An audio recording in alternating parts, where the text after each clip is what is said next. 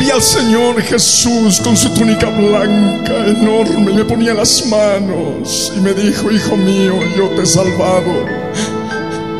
Te he levantado de entre los hombres para que prediques mi palabra. Nunca más serás hollado. Ahora tienes el poder para hollar serpientes y escorpiones.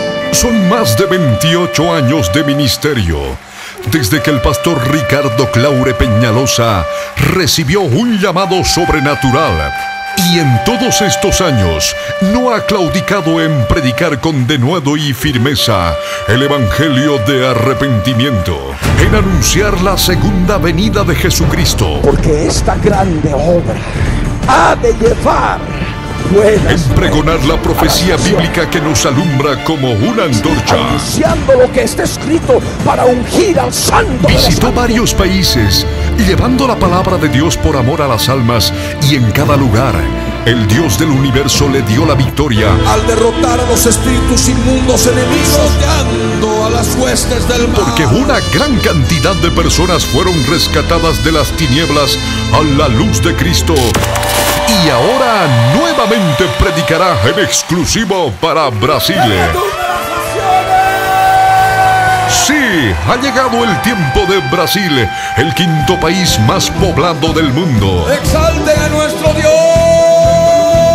Brasil, despierta ya. Siervo del Dios Altísimo, nuestro amado pastor Ricardo Claure Peñalosa, estará predicando solo para la República Federativa del Brasil el domingo 21 de febrero de 2016 a partir de las 9 de la mañana.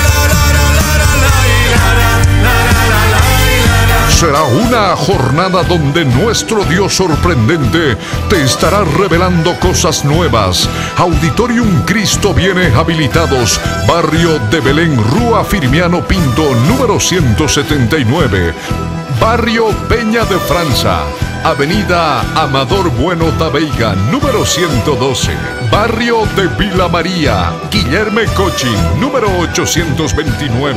Barrio Guillermina Esperanza, Rúa Yandaya do Sul, número 181. Asiste a partir de las 9 de la mañana. No faltes y que Dios te bendiga.